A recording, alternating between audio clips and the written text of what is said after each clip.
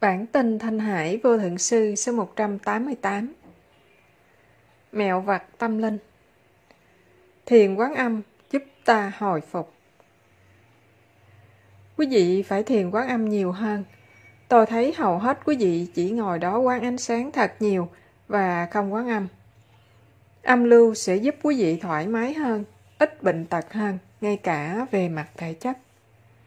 Khi quý vị đem âm lưu trở vào, cơ thể sẽ phục hồi năng lực. Hầu hết lực lượng bị mất qua những bộ phận bên ngoài. Khi ngồi trong tư thế quán âm, quý vị tái tạo lực lượng. Quý vị đưa tất cả lực lượng vào trong và không để lãng phí ra ngoài. Vì vậy, một lý do cho việc ngồi xếp bằng là để duy trì lực lượng. Thật sự là vậy. Nếu quý vị biết về bạch thần thông, họ cũng khuyên quý vị làm tương tự vậy. Dù họ không phải là đạo sĩ hay gì cả, một cách tự vệ mà những người dùng bạch thần thông sử dụng là khi họ cảm giác hay thấy có từ trường hoặc lực lượng xấu từ người đối diện, họ sẽ xếp bằng và có thể cũng nắm hai bàn tay lại với nhau, nếu có thể được. Do đó, thật sự là khi không muốn nói chuyện hay khi cảm thấy cần tự vệ, quý vị tự nhiên sẽ khoanh tay lại. Đó là một cách tự bảo vệ. Và khi cảm thấy hạnh phúc, khi muốn chào đón ai bằng tất cả trái tim, quý vị chỉ mở vòng tay trong hình thức không tự vệ, mở rộng. Nhưng khi cảm thấy chán hay không thích người nào, quý vị có khuynh hướng khoanh tay lại, chỉ tự nhiên như vậy. Cho nên dù quý vị không biết tại sao mình ngồi xếp bằng, điều này vẫn tốt. Và thiền quán âm duy trì lực lượng càng nhiều hơn. Điều này cũng tốt cho quý vị về mặt thể chất, tâm linh, tất cả mọi mặt. Nhưng nếu thấy mỏi, dĩ nhiên quý vị có thể duỗi chân một chút, miễn là có thể thiền tốt và nhập định được là tốt. Thật ra tư thế không quan trọng lắm, chỉ nói về phương diện thể chất, điều này giúp duy trì lực lượng vật chất, giúp cho quý vị thoải mái, lành mạnh. Vào buổi sáng hay sau khi thiền quán âm, nếu nhìn vào gương quý vị sẽ thấy mình có làn da hồng hào trong sạch và mắt sáng. Khi làm quán âm một hồi, rồi quý vị đi nhìn vào gương thấy như làn da quý vị đã đổi mới. Quý vị cảm thấy khác và nhìn khác. Quý vị trong sáng và mịn màng. Quý vị chiếu sáng sau một thời gian quán âm. Quán quan cũng vậy, nhưng quán âm thì rõ rệt hơn. Bất cứ khi nào quý vị thiền quán âm một mình, nếu quý vị đi vào phòng vệ sinh nhìn thử, sẽ thấy khác. Da quý vị nhìn mới mẻ, mịn màng và rạng rỡ màu hồng, dù là quý vị chưa từng có màu hồng trước đây. Và mắt quý vị sáng lấp lánh. Dù sao, đây là vài phương pháp thật sự lợi ích sẽ giúp quý vị trẻ lâu. Sư phụ khai thị Tâm thức nâng cao là quà tốt nhất cho nhân loại. Thế giới thật khôi hài. Đây là một thế giới thật khôi hài khi chúng ta dựa vào tiền để sống. Có phải không ra gì không? Đồng tu, tiền giúp cho thế giới tiếp diễn. Sư phụ, tôi biết, nó giúp cho thế giới tiếp diễn, nhưng đây là một thế giới thật khôi hài.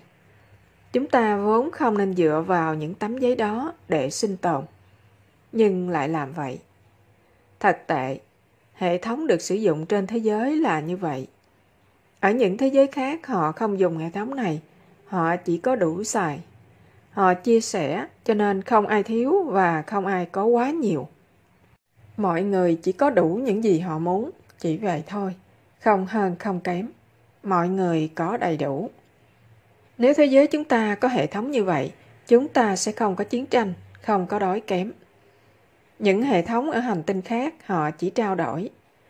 Thí dụ nếu họ phải xây đường, thì kỹ sư xây dựng, thợ xây cất nhà, bác sĩ chữa bệnh nhân, nông dân chăm sóc thửa vườn.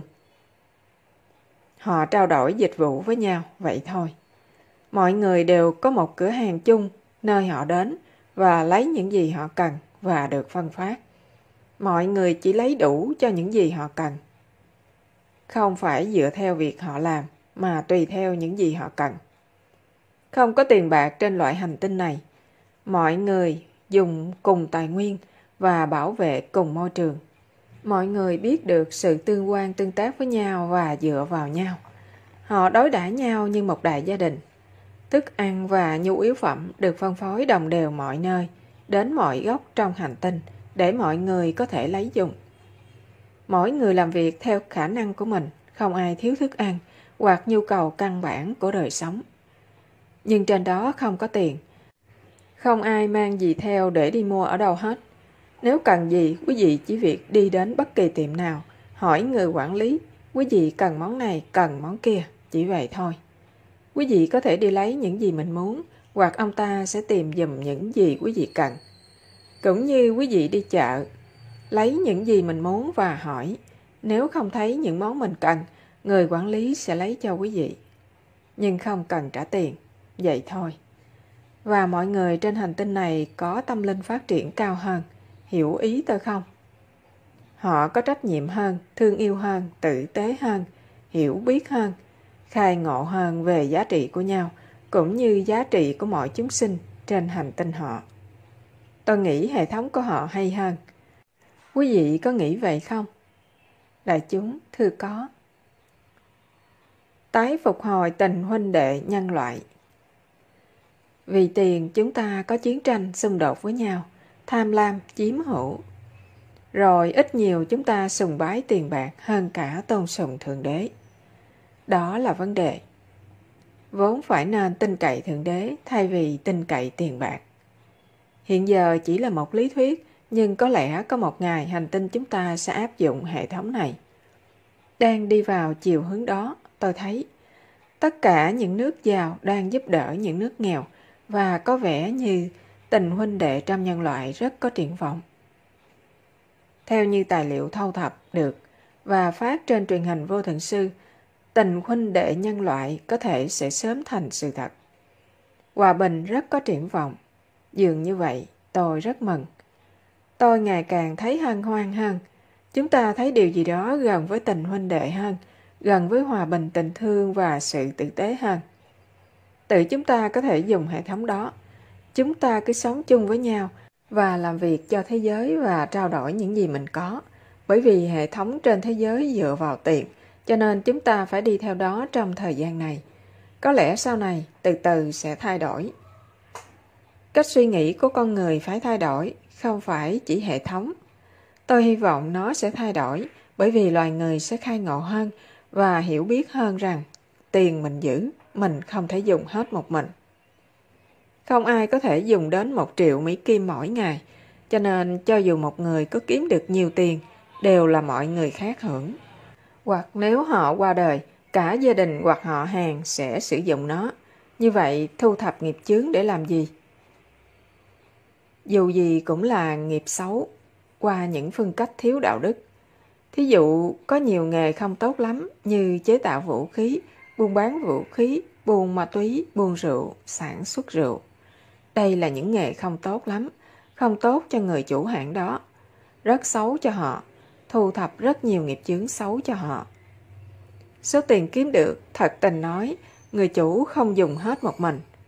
Có lẽ là dùng lúc ban đầu để có xe tốt và một chiếc máy bay, nhưng sau đó mọi người khác dùng tiền đó như thân nhân, bạn bè, nhân viên, bất cứ ai liên hệ đến người đó. Nếu họ để tiền trong ngân hàng và nhà băng lấy tiền lời, và có thể là dùng cho những mục đích khác không tốt. Nếu tiền của họ được dùng cho mục đích tốt, thì người chủ số tiền đó sẽ được lợi ích tâm linh. Bằng không, họ cũng sẽ bị phiền phức bởi nghiệp chướng, và như vậy không tốt. Cho nên nói cho công bình, người tạo ra những công việc như bán vũ khí, chế tạo vũ khí, sản xuất ma túy, buôn ma túy, người chủ của những hệ thống buôn bán này không có lợi nhiều lắm.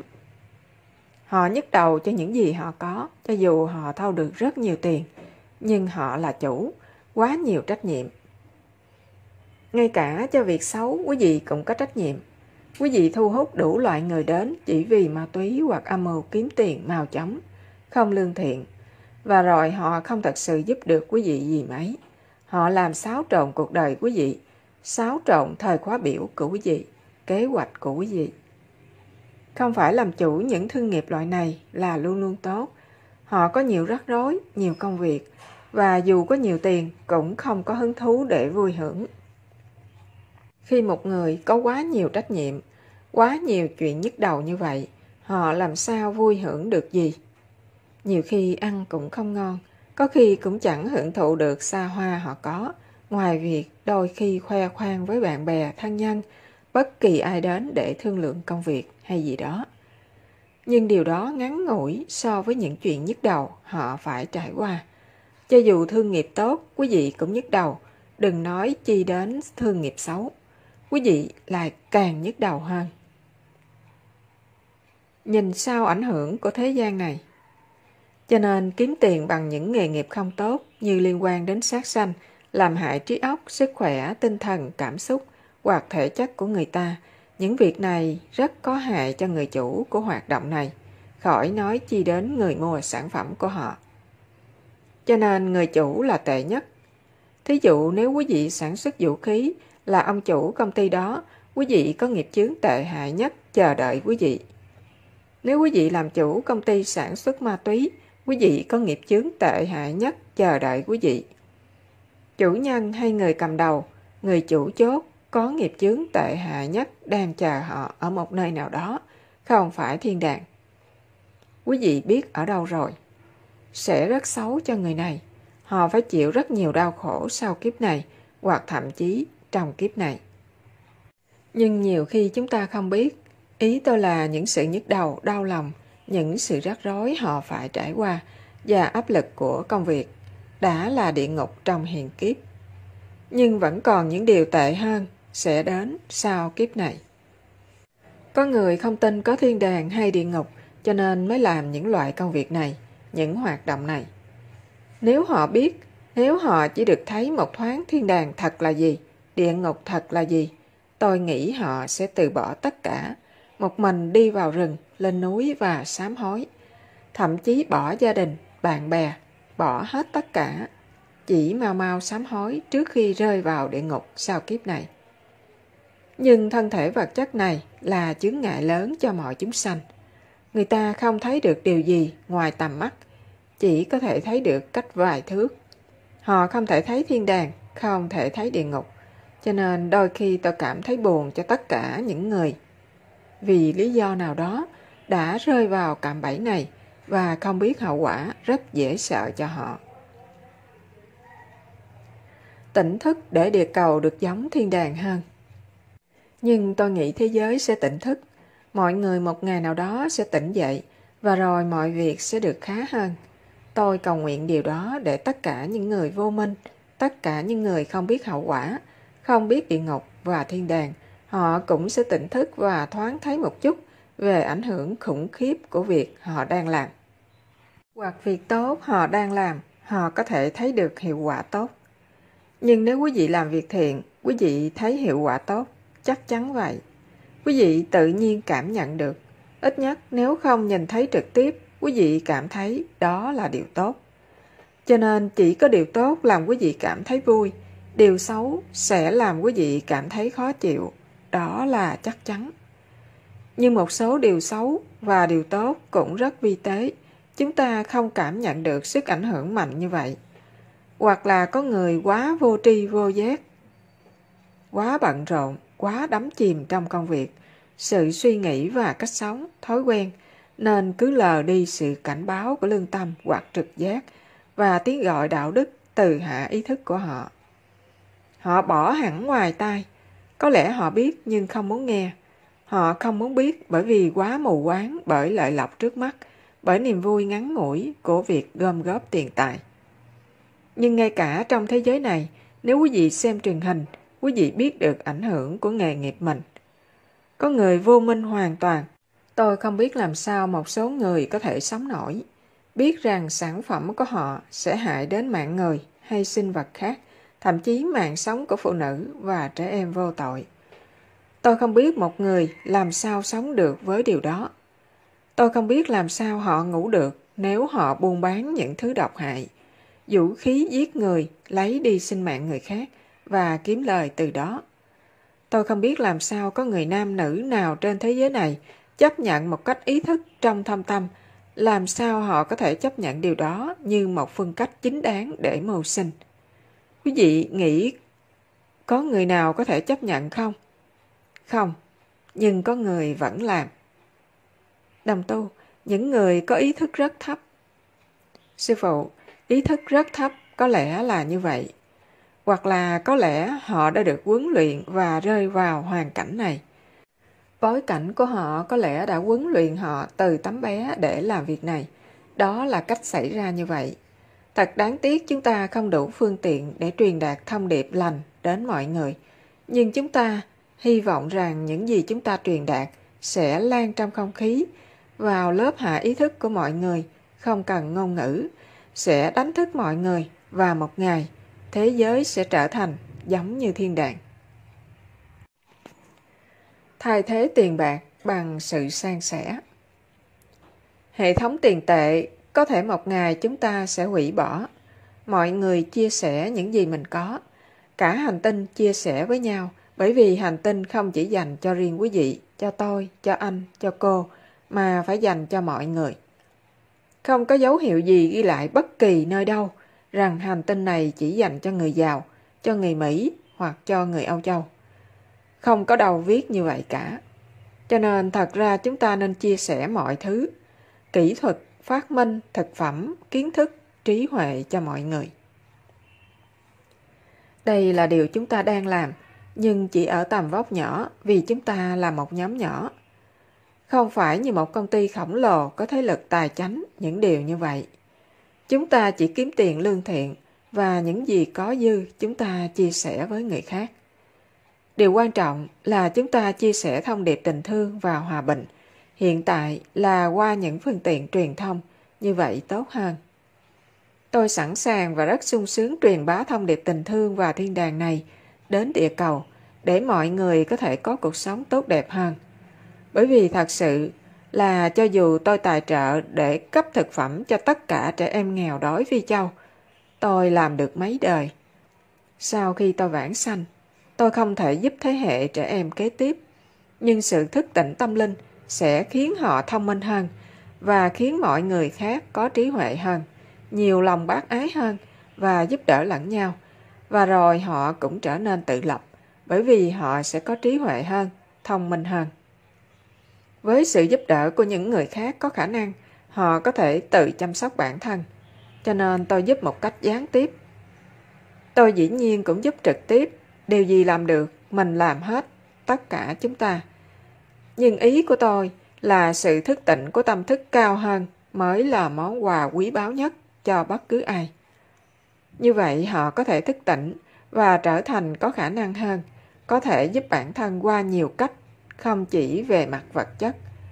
Bởi vì quý vị thông minh và bình tĩnh, quý vị có thể suy nghĩ.